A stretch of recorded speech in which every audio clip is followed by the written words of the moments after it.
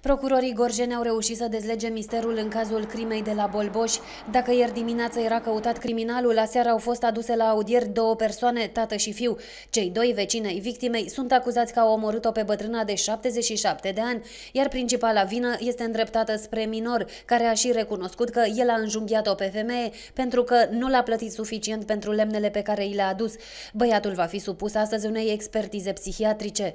Procurorul uh, de caz uh, a dispus uh, internarea suspectului minor în secția psihiatrie. Urmează a fi efectuată expertiza psihiatrică a acestuia pentru a se stabili dacă a acționat cu discernământ în momentul comiterii faptei. De asemenea, tatăl minorului a fost reținut pe o perioadă de 24 de ore fiind uh, suspectat uh, de implicare în uh, acest caz.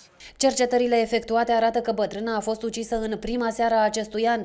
Femeia obișnuia să-l primească pe minor în casă după ce îi aducea lemne. L-a pus la masă și a oferit mâncare și băutură după care a început scandalul, întrucât adolescentul și-a amintit că pensionara îi mai datora niște bani. De aici și până la crimă nu a mai fost decât un pas. Magistrații Tribunalului Gorj vor decide în această seară dacă și tatăl minorului va rămâne în arest.